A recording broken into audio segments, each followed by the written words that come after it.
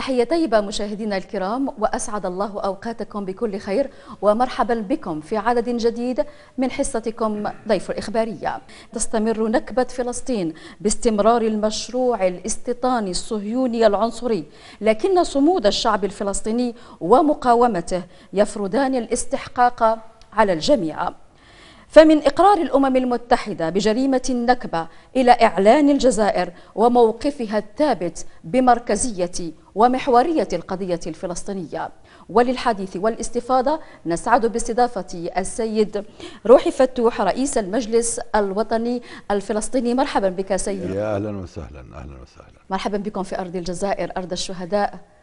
هذه العلاقة الوطيدة التي تجمع بين البلدين شعبا وحكومة سيد. بداية يعني أتوجه بالشكر العميق والجزيل لما تقوم به الجزائر على مدار ميلاد الثورة الفلسطينية وانطلاقتها وعلى مدار دعمها للشعب الفلسطيني ونضال الشعب الفلسطيني منذ أن نالت الجزائر استقلالها عام 1962 ونحن في الثورة الفلسطينية نعتبر أنفسنا امتداد لدورة لثورة الجزائر العظيمة التي انتصرت على المستعمر الفرنسي.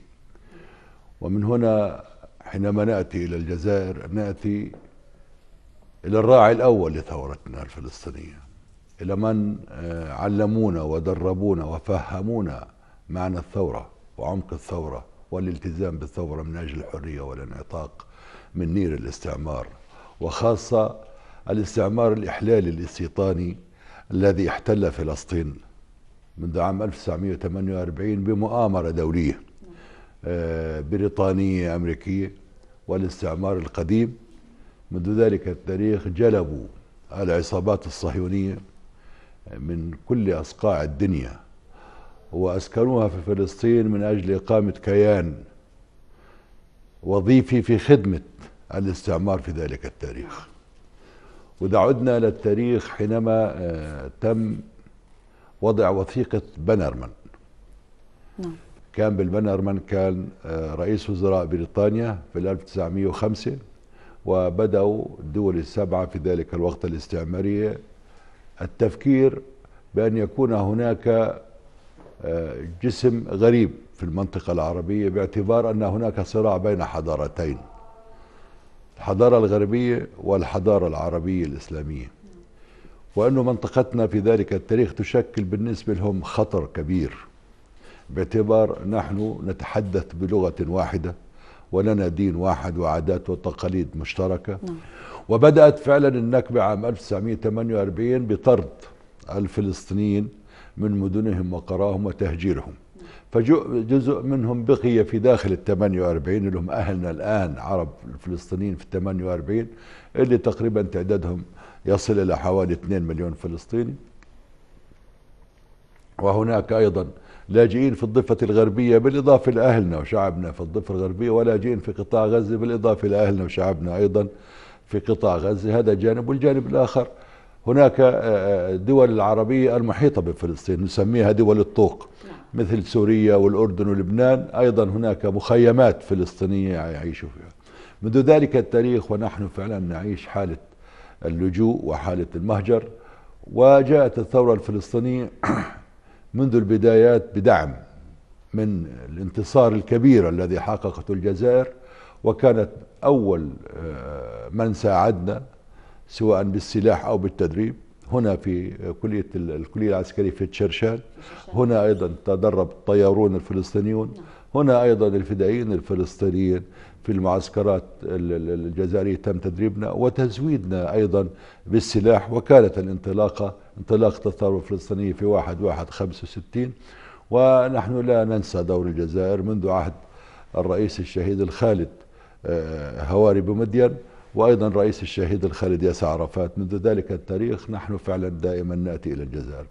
الجزائر راعية للثورة الفلسطينية بشكل عميق وبشكل كبير وهي تشكل أم للثورة الفلسطينية أب للثورة الفلسطينية وأيضا في ظل آه، الصراع الداخلي اللي بيحدث في الساحة الفلسطينية أيضا الجزائر كانت بتلم الشمل الفلسطيني. عفوا سيد روحي وهذا أظن بأنه أيضا نابع من سوسيولوجيا الشعب الجزائري الذي يدعم القضية الفلسطينية والفلسطينيين مهما كانت يعني المواقف أو التحديات التي تواجهها الشعب الفلسطيني. نذكر أيضا فيما يخص الشعب الجزائري دائما يقول بالروح بالدم نفديك يا فلسطين. هذا الشعار أيضا مشهور بالنسبة للشارع الجزائري. هذا فيما يخص الشارع لكن بيخص أيضا القيادة ونرى أيضا الاتفاق لم شمل الفصائل الفلسطينية التي كان السنة الماضية وأيضا قمة الجزائر التي آه، يمكن أن نقول بأن كانت القضية الفلسطينية يعني تصدرت وكانت محور اجتماع القادة العرب. الجزائر كجزائر موقفها الدائم هو أن القضية الفلسطينية أم القضايا العربية وهي القضية المركزية للأمة العربية. ولكن فعلا يعني حينما نتحدث عن الدور الجزائري في لم الشمل الفلسطيني فهي لها أيادي بيضاء بهذا الجانب. وأنا هنا نستذكر كما تعلمين بعد حرب 1982 آه، الاجتياح الإسرائيلي إلى بيروت وحقيقة استطاعوا أن يطردوا الثورة الفلسطينية من الساحة الساخنة في لبنان. آه، حدث ما حدث من انشقاق في داخل الساحة الفلسطينية ولكن الحوار الذي جرى في الجزائر هنا في العاصمة الجزائر في أنا بتذكر كان الحوار يتم في فندق الأروية الذهبية في الجزائر تم عقد المجلس الوطني الفلسطيني في الدورة 18 في عام 1987 هنا في الجزائر وسميناه في ذلك الوقت مؤتمر الوحدة الوطنية وفعلا تم لم شمل جميع القوى الفلسطينية في إطار منظمة التحرير المماثل الشرعي والوحيد وعقد المجلس الوطني الفلسطيني هنا.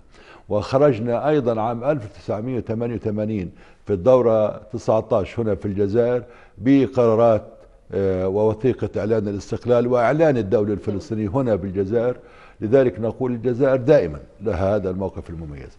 وأيضا آه، يعني في ظل الانقسام للأسف الفلسطيني البغيض القائم حاليا بادر فخامة الرئيس عبد المجيد آه، تبون؟ أطال الله بعمره. وفعلا يعني بادر بدعوة الفلسطينيين كل الفلسطينيين الفصائل المختلفة من كل الأطياف سواء كانت وطنية أو كانت إسلامية. وبدأنا حوار جدي هنا في الجزائر وتوصلنا إلى وثيقة لم الشمل الجزائري لم الشمل الفلسطيني عفوا بالجزائر. وتم التوقيع بحضور فخامة الرئيس تبون على هذه الوثيقة. وأيضا حتى أذكر في بعد ما تم التوقيع الاتفاق كلهم تشابكوا أيديهم بأيدي نعم كانت صورة تاريخية يعني. آه بالضبط. وفي نفس الوقت الرئيس تبون علق على هذا الاتفاق وأكد للفلسطينيين بوحدتكم تستطيعوا أن تحققوا الدولة الفلسطينية المستقلة في حدود الرابع من حزيران عام 1967 وعاصمتها القدس الشريف. من هنا نقول نحن يجب كما كانت الجزائر وستبقى الجزائر راعية لعمليات المصالحة الفلسطينية. يجب أن نلبي هذا الموقف الجزائري أولا للمصلحة الفلسطينية وفي نفس الوقت حتى لا نخذل الجزائر التي تخوض الصراع مع الكل سواء كان في المحيط الإقليمي أو في المحيط الدولي من أجل دعم القضية الفلسطينية. وهنا أذكر في عام 1974 مبكرا حينما كانت الجزائر ترأس الجمعية العامة وجهوا الدعوة لياسر عرفات وألقى الكلمة الشهيرة لياسر عرفات في الأمم المتحدة واللي قال أنا جئتكم ببندقية الثائر بيد وبالغصن الأخضر باليد الأخرى فلا تسقط الغصن الأخضر من يدي بمعنى أنا بنشد السلام. رجل السلام. بالضبط نرجو السلام. وأصبحنا عضو مراقب في الأمم المتحدة بفضل موقف الجزائر والجزائر هنا أستاذ تسعى أن تكون فلسطين عضو دائم بالأمم المتحدة وهذا, وهذا هو المسعى. وهذا ما يسعى له فخامة الرئيس عبد المجيد تبون طال الله بعمره. وفعلا سواء في القمة العربية ال 31 اللي صارت في الجزائر اعتبر أيضا قضية آه، قمة لم الشمل العربي. وفي نفس الوقت دعم آه، المطلب الفلسطيني لدى الأمم المتحدة بالاعتراف بدولة فلسطين دولة كاملة العضوية وعضو في الأمم المتحدة. ولكن كما تعلمين يعني مسار أخذ العضوية في الأمم المتحدة يذهب إلى مجلس الأمن. ومجلس الأمن دائما نصطدم بالفيتو الأمريكي لأن أمريكا هي أم الداء بالنسبة لنا. لذلك مع ذلك نقول الجزائر فعلا بذلت جهد كبير جدا. وحتى في قمة الجده في قمة جده القمة 32 اللي نحن متفائلون حقيقة وهي امتداد لقمه الجزائر. نحن نستذكر في هذا اللقاء كلمة الجزائر كلمة الرئيس عبد المجيد تبون التي ألقاها وزير الخارجية كانت كلمة عظيمة جدا وكل الكلمة أو أغلبية الكلمة كانت عن فلسطين وأهمية حماية الثورة الفلسطينية والشعب الفلسطيني ودعم. المطلب الفلسطيني في الحصول على العضوية الكاملة في الأمم المتحدة. نعم من هنا أيضا تظهر ضرورة دعم مبادرة السلام العربية لسنة 2002 أيضا من أجل إعطاء هذا البعد للقضية الفلسطينية وإيجاد حل آه، سلمي. والآن تم التأكيد عليها. في قمة الجزائر قمة 31 وفي قمة جدة القمة 32 التأكيد على المبادرة العربية للسلام وبدون تنفيذ المبادرة العربية للسلام لن يكون هناك في سلام. ولكن الشعب الفلسطيني شعب مستمر بالكفاح ومستمر بالنضال وكما تعلمين اليوم صباحا كان هناك لدينا في آه، آه، فتح ثلاث شهداء في مخيم بلاطة ويوميا واقتحامات أيضا المسجد الأقصى وأيضا هذه الممارسات الصهيونية المتكررة وهذه الحرب الدينية التي يشنها أيضا آه، الكيان الصهيوني. حكومة اليمين المتطرفة التي فيها بن غفير وسموتريتش يقوم بالاستفزازات اليومية. وهذا يعني وهذا يجب أن يحرك مجتمعنا العربي ومجتمعنا المسلم من مجل فعلا دعم أهلنا المقدسيين في القدس هؤلاء الذين الأبطال الذين يتصدون يوميا لكل هذه المحاولات الاستفزازية الإسرائيلية وكان آخرها كما تذكرين مسيرة الإعلام. والاقتحامات المتواصلة إلى باحات المسجد الأقصى هم يشنون هذه الحرب الدينية ضد المقدسيين والفلسطينيين نحن بالمساس. نحاول أن, نعم. أن لا نصل إلى الحرب الدينية لا نحن لسنا ضد اليهود حتى نكون واضحين ولكن ضد الحركة الصهيونية وضد الاستعمار الاستيطاني الموجود في- بلادنا يحاولوا أن يجرونا إلى حرب دينية وهذه لن تبقي ولن تذر سواء في آه، جانبنا المسلم أو كذلك جانبنا المسيحي ومع الجانب آه، اليهودي لأنها تخ- تخلق وتصنع كراهية ما بين الأديان. نحن في الأديان السماوية يعني كمسلمين نعترف بكل الديانات. وبالتالي نحن نحاول أن نتجنب الحرب الدينية. ولكن للأسف غلاة المتطرفين اليهود يحاولون أن يجرونا من خلال قضية ال- ال- ال- الصراع الديني وادعائهم بأن المسجد الأقصى في مكان المسجد الأقصى يوجد هيكل سليمان وهذا ليس صحيح. ولهم منذ احتلوا فلسطين لغاية الآن يبحثون وينقبون في كل الأثار ولم يجدوا أثر واحد لهم لا في القدس ولا في فلسطين. أثر واحد لم يجدوه حفرياتهم وكل علماء الآثار حفروا في فلسطين حتى يجدوا آثار واحد يدل على تاريخهم ووجودهم في فلسطين لم يعثروا حتى اللحظة هاي على أي آثار. ولكن عثروا على على آثار كنعانية وآثار آه، إسلامية و- وآثار عربية ولم يعثروا على إثر. من لهم كيهود في فلسطين. نعم. أستاذ فتح لي نعود إلى الإنجازات الدبلوماسية خاصة على المستوى الأممي. تم الاحتفال بذكرى النكبة الخامسة والسبعين لأول مرة بالأمم المتحدة في الخامس عشر ماي وهذا بعد إقرار من الأمم المتحدة الجمعية العامة للأمم المتحدة في 30 نوفمبر الماضي مباشرة بعد قمة الجزائر. هنا نرى هذا الثقل هذا الدعم للقضية الفلسطينية بعد لم الشامل في على المستوى البيت الفلسطيني وتوافق أيضا الدول العربية على ضرورة دعم القضية الفلسطينية. نجدها الآن على المستوى الأممي. نتحدث عن هذه الثلاثية. نعم يعني اولا هذا القرار كان قرار مهم جدا. آه، الموقف العربي والموقف ال- الإسلامي والموقف المميز لدولة الجزائر وهي كانت رئيسة القمة العربية في ذلك الوقت.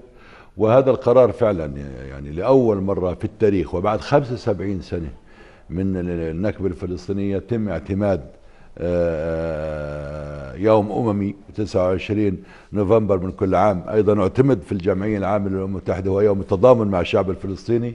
وأيضا كما تعلمين ده تم تشكيل لجنة دائمة في من لجان الجمعية العامة وهي لجنة الحقوق الثابتة وغير القابلة للتصرف للشعب الفلسطيني. كل هذه القضايا الجمعية العامة لها موقف. الجمعية العامة اعترفت بنا كدولة في الأمم المتحدة مراقب ال- قضية الدولة العاملة بدها قرار من الجمعية. من المجلس الأمن ومجلس الأمن في الفيتو الأمريكي يعطل علينا.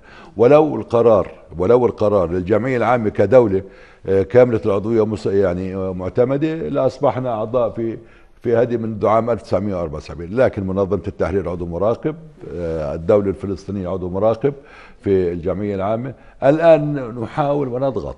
لكن للأسف الضغط الأمريكي على الدول الأوروبية وبعض الدول الأوروبية لها موقف أيضا للأسف المعايير المزدوجة.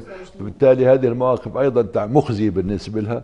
ونقول مع ذلك نحن في مسيرة نضالية كفاحية. الجزائر استمرت 132 سنة وهي تقاتل وتكافح حتى نالت استقلالها.